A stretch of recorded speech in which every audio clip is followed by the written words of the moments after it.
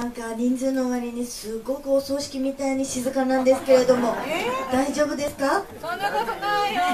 でもここら辺だけなの盛り上がってるの。なんか後に皆さんぼーっとなんか眠いのか何なのかよく分かりませんけれどもボケーっとしてらっしゃいますけれども大丈夫ですか？皆さんお元気ですか？はい、元気です。ちゃんと目覚めてます？はい。そうだよね。もうどちらかというともうだいぶ前から起きててだいぶ早く目が覚める皆様がいらっしゃるようでございますけれども、えー久しぶりにやってまいりましたね、えー前作「雪国一人」の時もお世話になりましたけれども、えー町田の鈴木楽器さんにお邪魔させていただいております、え今回の、新曲ね「音を信じる川」と書いて「訪れ川」と読みます。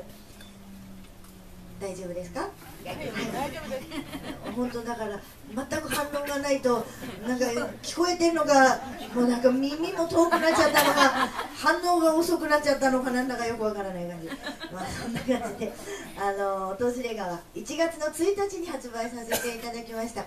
あの私もねデビューして今年で16年目になりますけれどもありがとうこのパラパラな拍手やる気があるのかないの